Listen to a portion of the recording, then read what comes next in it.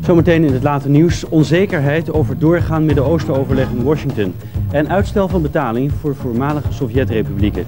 Dat en meer over een paar minuten.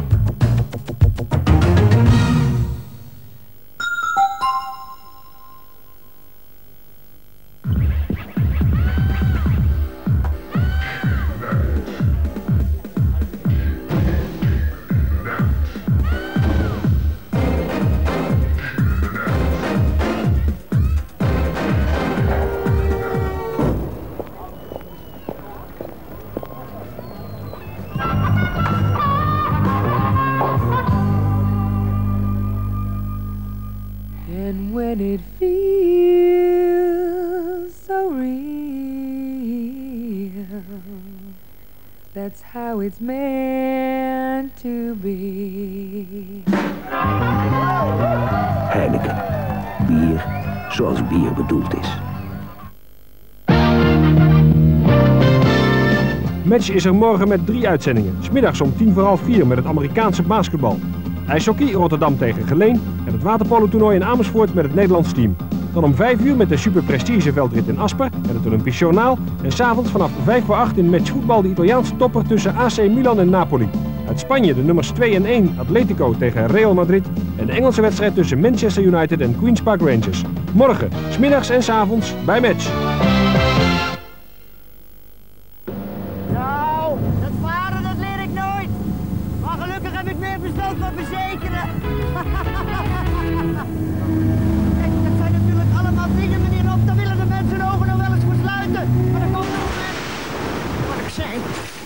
Als Victoria Vesta adviseur kom ik graag bij de mensen thuis. Zo wilde de familie... eh, Oh, Ming porselein. Ik durf het bijna niet te vragen. Maandagavond, 5 voor half 12, RTL 4. Met hart en ziel. In je bed stappen, je omdraaien en vervolgens in een diepe slaap vallen, waaruit je pas de volgende ochtend uitgerust wakker wordt, dat is voor veel mensen een droombeeld. Ze zouden er heel wat voor over hebben om eindelijk weer eens een nacht probleemloos te kunnen slapen. In deze uitzending van Met Hart en Ziel praten psychiater Jan Swinkels en ik met een aantal gasten over een onderwerp waar miljoenen mensen blijkbaar een probleem mee hebben. Met slapen en met dromen. Met hart en ziel, maandagavond om 5 voor half 12 bij RTL 4.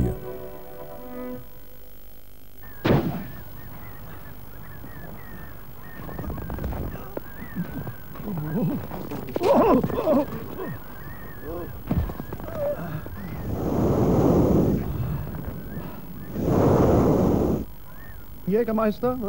Alleen als die ijs en ijskoud is. Een ijskoude Jägermeister smaakt altijd. Vannacht bij RTL 4 ziet u de volgende programma's. Om 5 voor half 12 de speelfilm Crimes of Passion. Geweld gaat samen met passie. In de hoofdrollen Kathleen Turner en Anthony Perkins.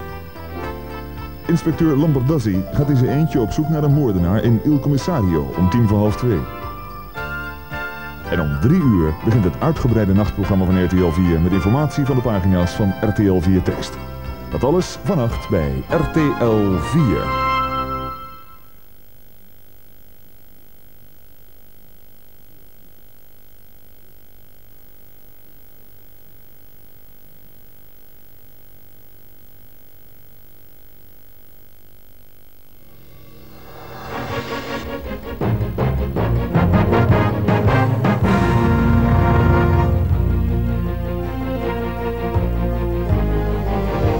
Het RTL 4 Nieuws met Sander Simons. Goedenavond. Het wordt steeds onzekerder of de vredesbesprekingen over het Midden-Oosten wel doorgaan aanstaande dinsdag in Washington. Israël heeft aangekondigd dat het in ieder geval een delegatie naar de Verenigde Staten stuurt, maar het is de vraag of die een gesprekspartner zal aantreffen. Want alle Arabische delegaties hebben hun vertrek uitgesteld, uit protest tegen de Israëlische deportatie van 12 Palestijnen. Een paar weken geleden was de situatie nog precies omgekeerd. Toen zaten de Arabieren in Washington een paar dagen te wachten op Israël. Nu wacht de Palestijnse delegatie met het vertrek naar Washington. Ze wil eerst instructies van de PLO en die komen in ieder geval niet voor morgen. De PLO-top in Tunis heeft een vergadering over de Midden-Oosten-conferentie uitgesteld tot vannacht. De bevrijdingsorganisatie wil tijd winnen om de VN-veiligheidsraad te bewegen tot stappen tegen Israël. Ondanks protesten uit de Arabische wereld en van de Verenigde Staten blijft Israël vasthouden aan de voorgenomen deportaties. En dat zorgt voor dramatische tafereelen in de bezette gebieden.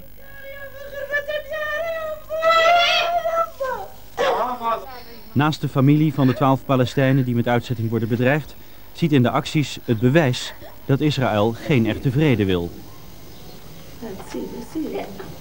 This shows that uh, really Israel uh, don't want peace, and uh, we should we should we should now stop the this. Op verschillende plaatsen is vandaag gedemonstreerd tegen de uitzetting. Bij botsingen tussen demonstranten en het Israëlische leger zijn zes gewonden gevallen. Uitstel van betaling voor acht voormalige Sovjetrepublieken. Ze hoeven van de rijke westerse landen een klein deel van de oude Sovjetschuld nog niet terug te betalen. Het gaat om zo'n 6 miljard gulden aan langerlopende leningen. Er wordt wel van de republieken verwacht dat ze de komende drie maanden allerlei hervormingsmaatregelen treffen. En dat proces is dan ook in volle gang. Een van de aspecten ervan is het loslaten van de prijzen. En dat gebeurt overal. In navolging van Rusland en de Oekraïne is nu ook Wit-Rusland daartoe overgegaan. Gevolg is dat de prijzen in de voormalige Sovjet-Unie de pan uitreizen. Het systeem van vraag en aanbod moet nu gaan functioneren. De hoop is dat er meer goederen op de plank komen en dat de winkeliers de achtergehouden voorraden gaan verkopen. Maar tot nu toe is dat ijdele hoop.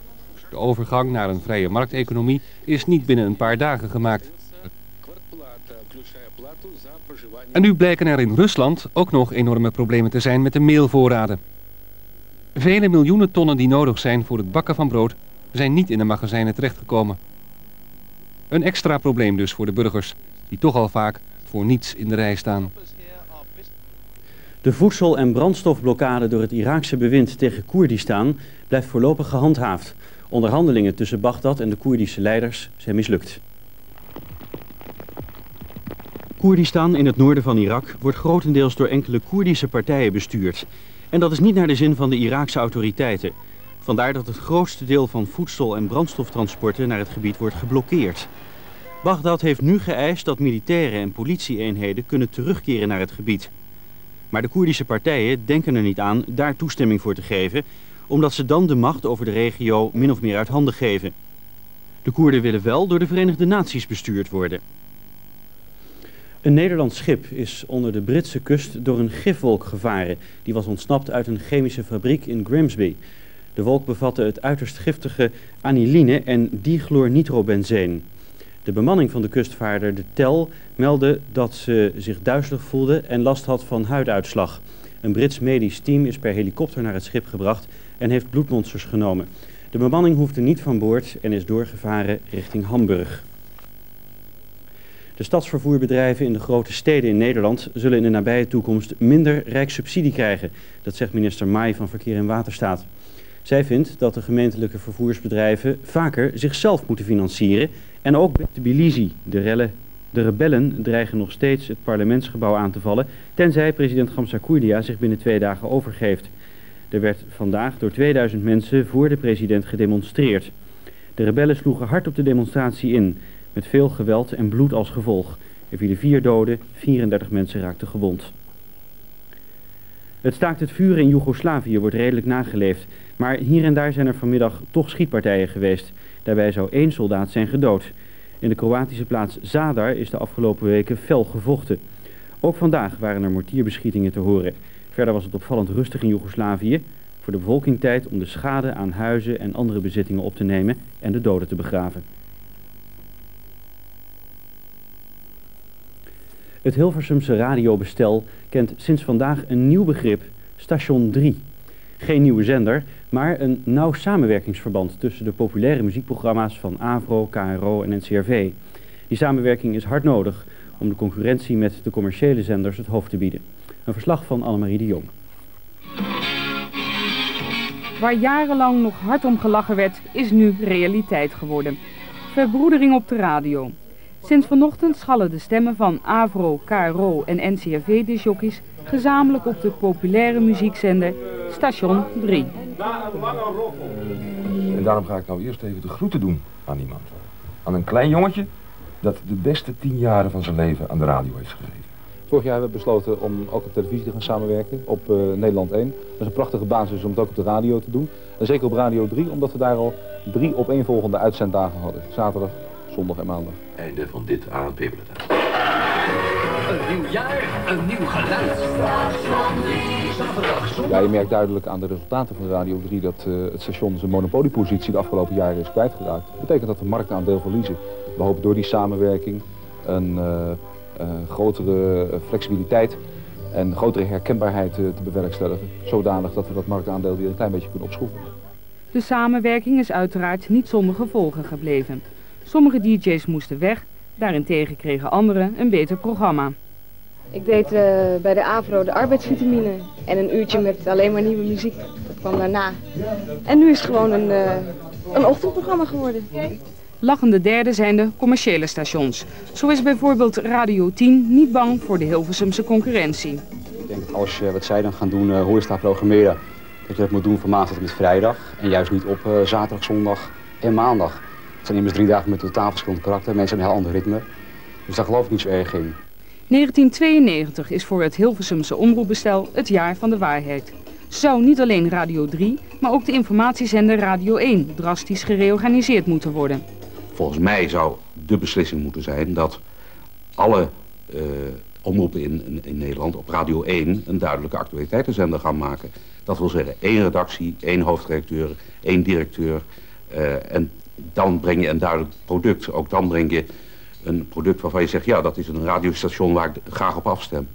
Maar voor vele omroepen is de identiteit heilig. Toch zal deze maand een knoop over de toekomst van het Nederlandse omroepbestel worden doorgehakt. Met deze bijdrage besluiten we dit laatste RTL 4 nieuws van vandaag. Morgen zijn we er weer op de vaste tijden, 6 uur, half 8 en laat op de avond. Tot morgen.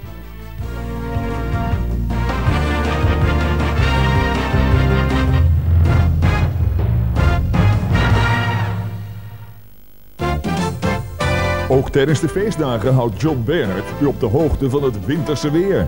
Straks bij RTL 4. Nou, dat varen dat leer ik nooit. Maar gelukkig heb ik meer verstand van verzekeren. Kijk, dat zijn natuurlijk allemaal dingen, meneer Op. Daar willen de mensen ogen nog wel eens voor sluiten. Maar dan komt er. Wat ik zei, als Victoria Vesta adviseur kom ik graag bij de mensen thuis.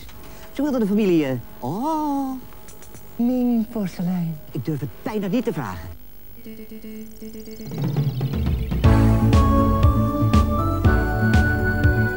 Kinderen hebben recht op leven. Kinderen hebben recht op bescherming. UNICEF helpt kinderen aan een toekomst. Mijn kinderen willen graag een computerspelletje voor hun verjaardag. Maar hun kinderen hebben liever elke dag wat te eten. UNICEF het Kinderfonds van de Verenigde Naties helpt kinderen overal ter wereld aan eten. Steun UNICEF. Michelin presenteert het RTL 4 weer.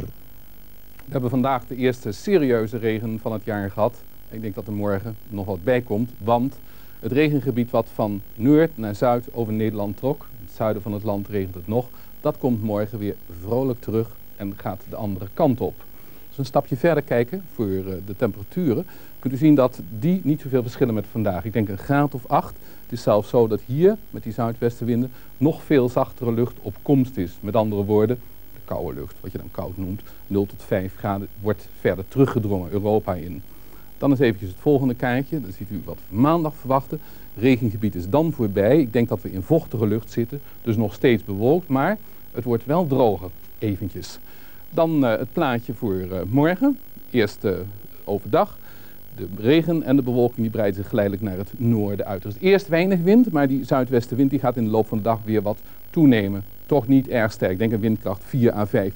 Temperaturen van 7 à 8 graden, die mogen de best zijn. De meerdaagse verwachting.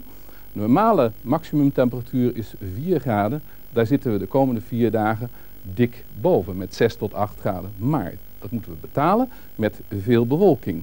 Morgen wat regen, even twee dagen wat droog weer en daarna waarschijnlijk weer wisselvallig met regen. Zuidwestenwinden, vandaar die hoge temperaturen.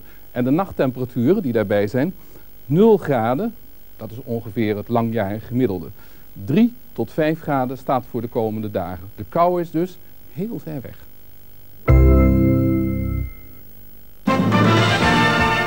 RTL 4, daar blijf je naar kijken. War's just been declared. Maandag om tien over negen. You're going home. Clint Eastwood in Heartbreak Ridge.